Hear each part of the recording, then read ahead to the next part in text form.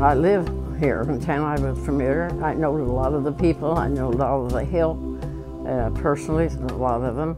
And uh, it was just no question at all that here's where I felt like I wanted to go. I love them all.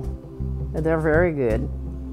Even my doctor said he didn't expect me to walk like I'm walking. I'm not full walking yet, but with a walker, I am walking part way. Well pleased with the, the staff, and uh, I share a room with a very nice lady, and we're getting along fine, so her and I both are enjoying not having to get out in the weather. Everything's furnished for us. I know I wouldn't be as happy somewhere else as I am here.